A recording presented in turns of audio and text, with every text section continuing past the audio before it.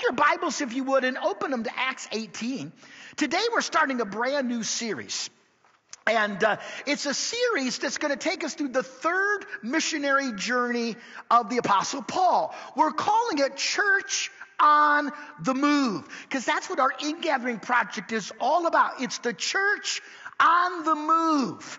In Acts chapter 1, verse 8, it's the key verse to the book of Acts. It really gives us an outline to the book. When Jesus says, You're to be my witnesses in Jerusalem, Judea and Samaria, and to the uttermost parts of the earth. And Paul's missionary journeys were the first step of the gospel going to the uttermost parts of the earth. Now, when you kind of just compare those three journeys, the first journey of Paul, found in Acts 13 and 14, covered about 1,400 miles. The second journey of Paul, Acts 15 through 18, about 2,800 miles. And the third journey that we're going to look at in this series, about 2,700 miles. Now, in the past, I have preached series that have taken us from Paul before he got saved, when he was known as Saul of Tarsus, all the way through the second journey. Those series are on our church website, myefree.org. The first series is called Paul, and that goes from his pre-conversion through his first journey. The second series is called Road Trip, and that took us on the second journey. So if you would like to go back, in total, those two series are close to 20 messages. If you would like to go back and kind of review or get caught up on all that happened in Paul's life, it, all the way through his second journey, you can do that. After the first of the year, I'm going to do another series called The Long Road Home, where we're going to look at the life of Paul from after his third journey to his death, and we will have studied through the entire life of Paul. But starting today, we want to look at his third journey. Now, his third journey really begins properly in verse 23 of Acts 18. But there's some information before verse 23 that provides an overlap. And I want to make sure we understand the overlap. So I want to begin in verse number 19 of Acts chapter 18. And here's what it says. It says, they, and we'll learn in a moment, that's the apostle Paul and a married couple by the name of Aquila and Priscilla. They came to Ephesus. Now, where did they come from? Well, they had been in Corinth. Paul spent nearly two years towards the end of his second journey in Corinth. Then he and Aquila and Priscilla sailed across the sea to another major city called Ephesus. And it says that Paul left them, Aquila and Priscilla, in Ephesus. Now that's important because when we get to verse number 24, Luke is going to take us back to Aquila and Priscilla in Ephesus. And we're going to meet one of the most intriguing individuals in the book of Acts. But let's keep looking about what happens with Paul. It says, Now he himself entered the synagogue in Ephesus and he reasoned with the Jews. And that was Paul's pattern. Every city he went to on his journeys, he first goes into the Jewish synagogue. He tells the Jewish people in the synagogue that Jesus is the Messiah, that he died for our sins, rose from the dead, and that salvation is not about obeying the law, it's about putting your faith in Christ. And in most synagogues, when Paul gave that message, what happened? He was run out of the synagogue. Often he was run out of town. But the synagogue in Ephesus is different. Notice what happens. It says, when they asked him to stay for a longer time, the Jews in the synagogue said, Hey, we want to hear more. Paul did not consent. But taking leave of them, saying, I'll return to you again if God's will, he set sail from Ephesus. So it appears that the Jews in Ephesus are open to the gospel. But Paul doesn't stay there. Why? Because he has Aquila and Priscilla. Because you see, folks, the church on the move is not about a certain pastor or a certain missionary or a certain apostle. The church on the move is about you, every single person being used by God. So, what does Paul do? Look at verse, well, before we get to that, let me back up. How did Paul first meet Aquila and Priscilla? Well, he met them back in Corinth. If you go back in chapter 18 to verse 1, it says this. After these things, he left Athens and went to Corinth, where he would spend two years. And he found a Jew there named Aquila, a native of Pontus, having recently come from Italy with his wife Priscilla. Now, why did Aquila and Priscilla leave Italy and come to Corinth? Because Claudius, the emperor, had commanded all the Jews to leave Rome. So they end up in Corinth. And Paul came to them because he was of the same trade. He stayed with them. They were working together, for by trade they were tent makers. So, how did Paul first meet this couple? Well, he met them back in Corinth. He started working with them. They were all tent makers. So now they were a three person factory making tents in Corinth, and there's no doubt that as they worked together, Paul shared with them the truth of Jesus. They put their faith in Christ, and they became key ministry partners with Paul. In fact, they weren't just key ministry partners. At one point, and we don't know the story behind it, I wish we did they actually saved Paul's life. How do we know that? Well, when Paul ends his writing to the book at Rome, the church at Rome, in Romans 16, Paul says this Greet Priscilla and Aquila, my fellow workers in Christ, who for my life risked their own necks. So, this is a couple who was very special to Paul. He worked with them as tent makers. They became ministry partners. At one point, they even saved his life. And he leaves them at Ephesus so he can finish that second journey and get things rolling on journey number three. And we read about that beginning in verse 22 of Acts 18 when it says, When Paul landed at Caesarea, which is a coastal town of Israel, he went up and greeted the church. He went up. He went up where? Well, if you're in Israel and you were going up, where were you going? Jerusalem. Because Jerusalem sat on a hill. It was the highest point there, highest city. No matter what direction you went to Jerusalem, you were going up. So Paul leaves Aquila and Priscilla in Ephesus. He sails to Israel. He goes up to Jerusalem. It says he spent some time there with the church. And then it says that he ended up going to Antioch. Antioch was the church that set him out on his journeys. This ends Paul's second journey. He's back in Antioch. He gives a report.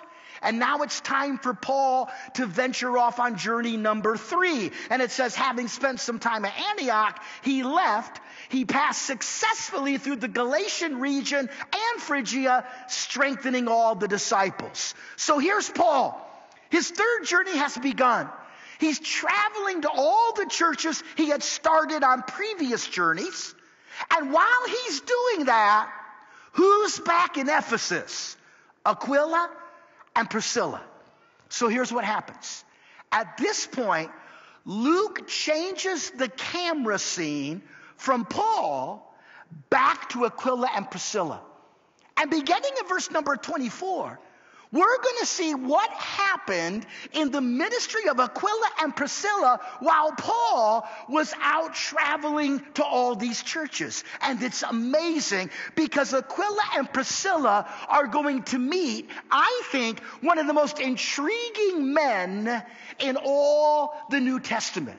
In fact, if I could listen to one person in the New Testament preach, it would be this man. I would rather listen to him than Peter or Paul or John.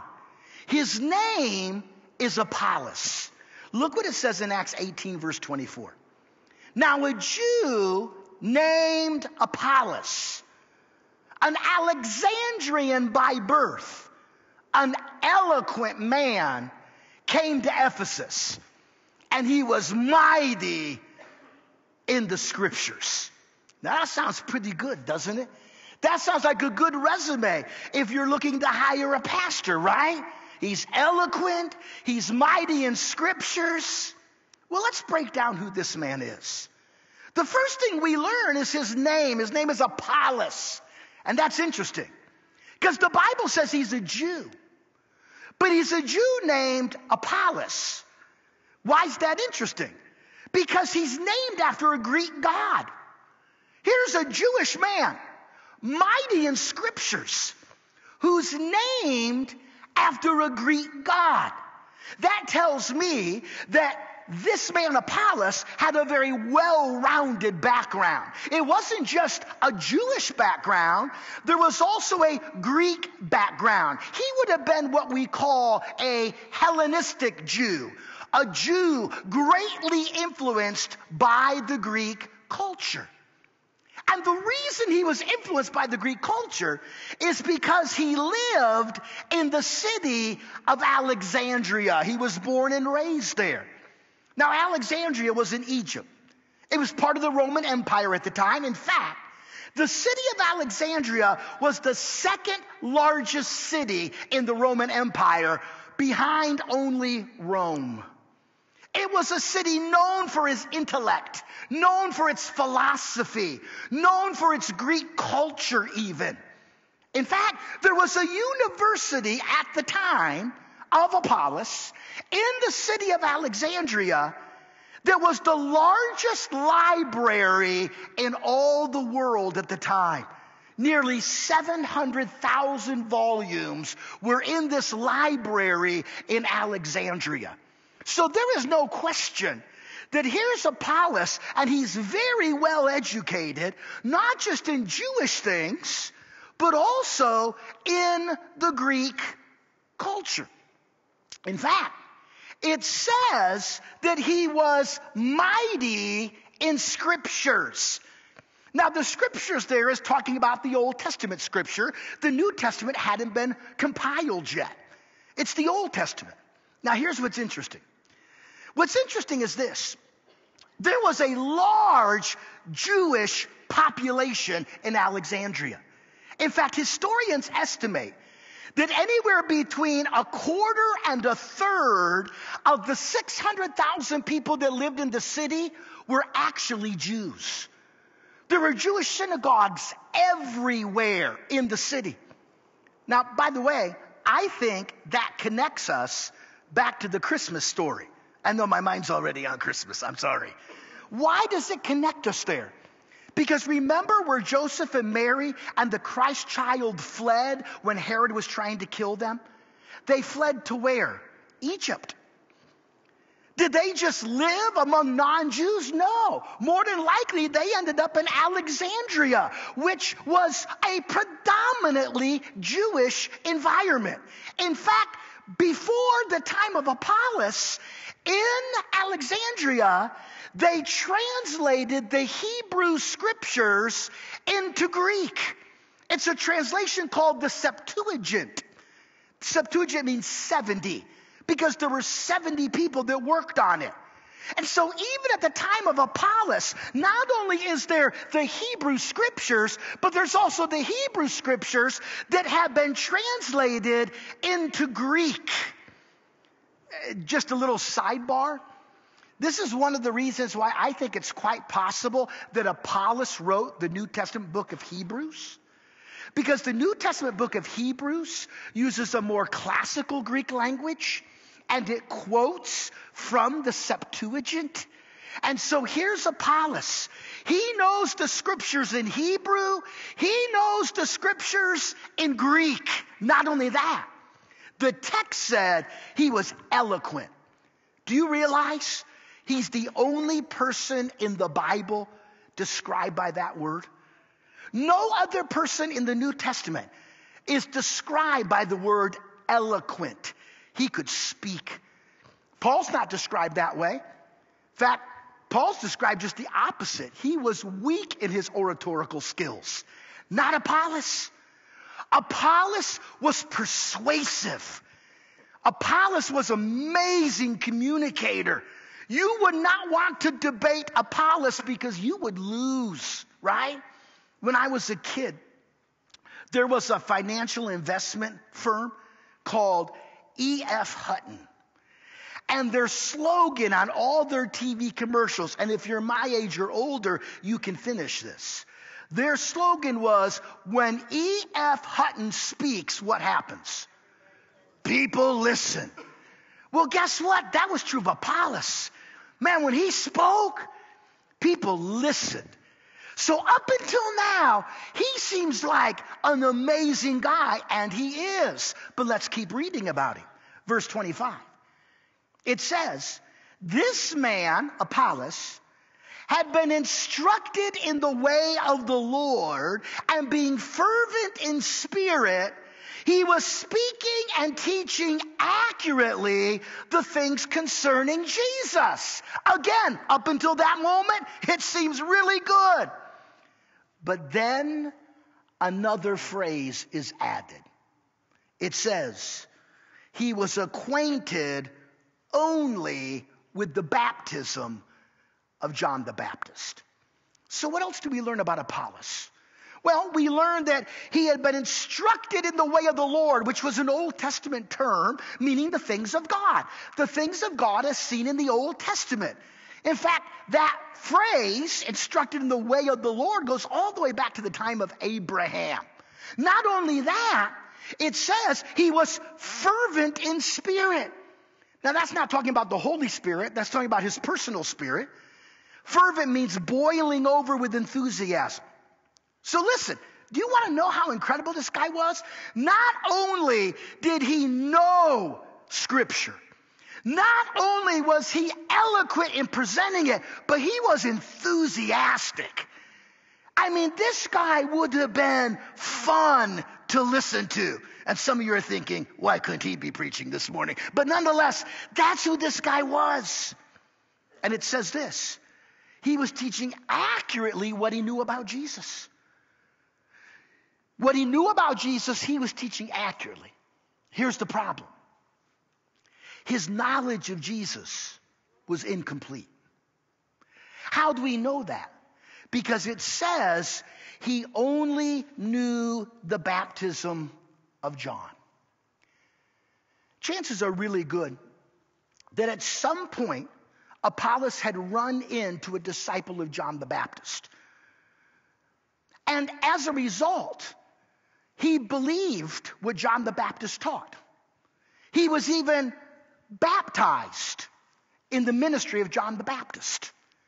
Now, understand that the baptism of John the Baptist was a baptism of repentance, preparing you for the coming of the Messiah. And John even went as far as to point out who the Messiah was. So, what was John's message? His message was prepare because the Messiah's coming. And then he pointed out Jesus and said, Behold, the Lamb of God that takes away the sin of the world. There he is. The Messiah is Jesus. And Apollos believed that. He believed that Jesus was the Messiah. And because of all of his knowledge about the Old Testament, he could prove it from Scripture. He could look at the prophecies in the Old Testament and show you how Jesus fulfilled the prophecies. But his knowledge about Jesus ended with the teaching of John the Baptist. John died before Jesus was crucified.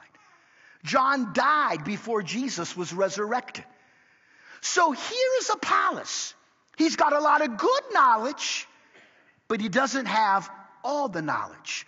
He's acquainted with the baptism of John, but not the baptism of Jesus. Now, how is the baptism of Jesus different than the baptism of John?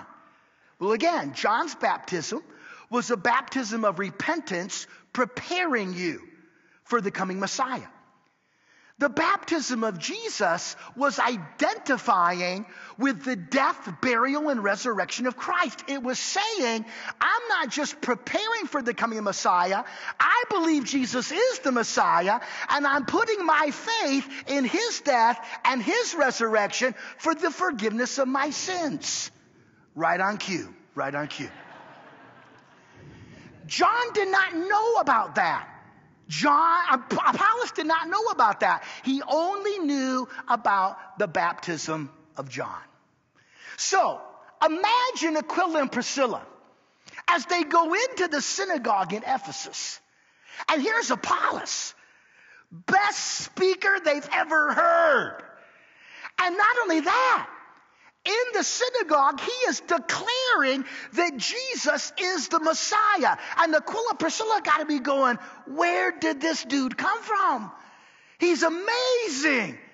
But as they listen to him speak, they realize his knowledge about Jesus is incomplete.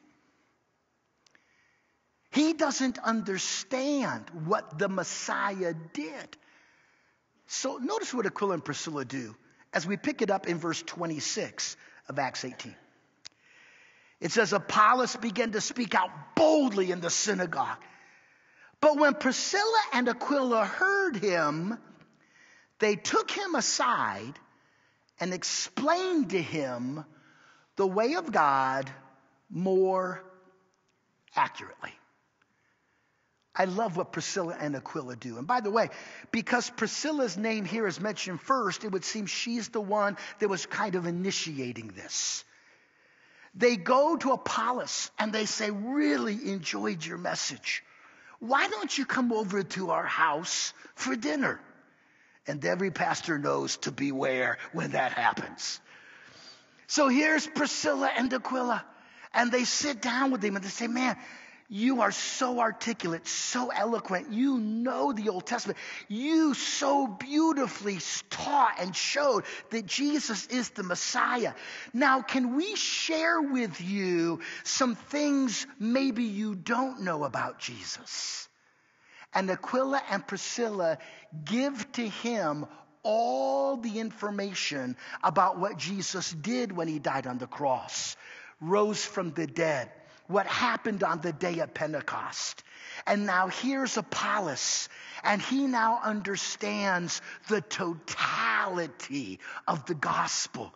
It's here, no doubt, that he identifies with the death and resurrection of Jesus, realizing that you're not going to get to heaven based on obeying the law, but rather based on putting your faith in Christ. And all of that happens when Priscilla and Aquila come alongside this eloquent preacher and help him to understand more accurately. By the way, there's a couple things I want you just to know. Would you note, first of all, how Priscilla and Aquila went about it? Because in today's culture, if you heard a preacher preach and his message wasn't totally, completely accurate, you would just go on Facebook and declare him a heretic to all of your friends. Priscilla and Aquila didn't do that. They privately, graciously took him aside, shared with him. Folks, listen. Constructive criticism and correction is needed. But constructive criticism correction will only be effective if it's shared privately and graciously. And that's what Priscilla and Aquila do. They privately, graciously share with him the rest of the story. And you know what I love about Apollos? He's teachable. This man who could win any debate he was in was teachable. He listened. He learned. He accepted it. And how do we know that there was this change in his believing? Well, look at this. It says, when Apollos wanted to go across to Achaia, where Corinth was, the brethren, including Priscilla and Aquila, encouraged him. They wrote to the disciples back in Corinth to welcome him. And when he arrived, Look at this. He greatly helped those who had believed through grace. Apollos now gets it. The whole story is that Jesus isn't just the Messiah, but as God's Messiah, He died in our place to pay the penalty for our sin then defeated sin and death when he was resurrected, and now offers to us a right relationship with God and an eternal home in heaven through grace. He gives us what we don't deserve because we put our faith in him. It also goes on and says that in Corinth, he powerfully refuted the Jews in public. When he debated them, he shredded them. He shredded them, demonstrating by the scriptures that Jesus was the Christ. And I love that. Folks, it's not enough to give people your opinion. You need to be able to show them your opinion in Scripture. He didn't just say, Here's my opinion about Jesus. He said, Let me show you from Scripture who Jesus is. By the way, Apollos would go on to become a very important person in the ministry at Corinth.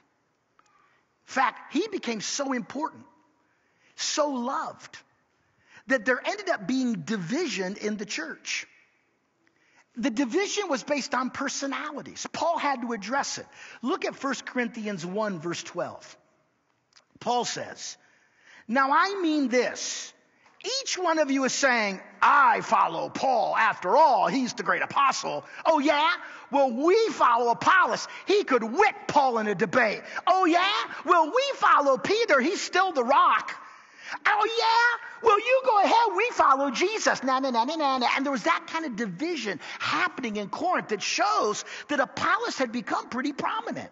In fact, if you drop down to verse number four of chapter three in 1 Corinthians, listen to what he says. Paul says to them, What is Apollos? What is Paul? We're just servants through whom you believed, even as the Lord gave opportunity. I planted the seed in Corinth, Apollos watered the seed, but it was God that was causing the growth. Here's what I love about the story of Apollos. What I love about Apollos is I meet a lot of people today who are trusting in their religion to get them to heaven. They're trusting in their religious activity to get them to heaven. They're trusting in their religious knowledge to get them to heaven. They're trusting in their religious heritage to get them to heaven. They're trusting in their religious sincerity to get them to heaven. And folks, understand this. If we're going to grade someone on religious activity, religious knowledge, religious heritage, and religious sincerity, Apollos will top the list. He was highly involved in religious activity before he met Priscilla and Aquila. He had incredible religious knowledge before he met Priscilla and Aquila. He came from an amazing religious heritage before he met Aquila and Priscilla. And he had religious sincerity. He was fervent in spirit before he met Aquila and Priscilla. But if there's one lesson I think we need to learn from this story, it's this. Listen, no amount of religion can get you to heaven without Jesus. No amount of religious activity can get you to heaven without Jesus. No amount of religious knowledge can get you to heaven without Jesus.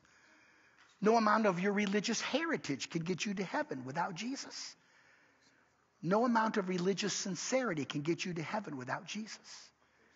Apollos had to come to the point that he understood what Jesus did for him. And how, because of that, Jesus wasn't just the Messiah, but by being the Messiah, Jesus is God's only way to heaven. And that's why Jesus said, I am the way, the truth, and the life. No one comes to the Father unless they come through me. Maybe today you're sitting in one of our campuses or watching in one of the groups that watch us. Maybe you're watching at home, online, or through the TV at a nursing home or hospital or laundromat or restaurant or prison. Maybe you're watching this morning and you've been trusting your religion to get you to heaven. Here's what I want you to know no amount of religion can get you to heaven. Only Jesus can get you to heaven. And if you've never put your faith in the death and resurrection of Jesus, the Bible says if you will believe on the Lord Jesus Christ, you will be saved. And right where you're seated right now, no matter where you are right now, maybe driving in the car, listening on the radio, you can put your faith in Jesus right now. You can say, Jesus, I believe. I believe you're the Son of God. I believe you died for my sins. I believe you rose from the dead. And I believe you are the only way to heaven. And right now, I put my faith in you. And the Bible says, if you believe on the Lord Jesus Christ, you will be saved. And if this morning, wherever you are, you're making that commitment, I'd love for you to let me know. If you're at one of our campuses, on your card, under that prayer request part, you can just write, I put my faith in Jesus today. That's all, you need to do. If you're watching online, on our online portal, there's a slide on the screen right now that you can click to say, I just put my faith in Jesus. If you're watching through another means, wherever you are, you can send an email to me. Let me just give you my personal email. It's Scott D at myefree.org. Scott D at M-I-E-F-R-E-E dot org. Just email me and say, Pastor Scott, I put my faith in Jesus today. The story of Apollos is an amazing story of a man who was religiously active, had a great religious heritage, had religious knowledge, had religious sincerity, but didn't know the full truth about who Jesus was. And when he learned that truth, it changed his life. Jeff's going to take over up at our Sioux campus. The down at our classic service. Here in the main auditorium, would you stand with me, please, for prayer?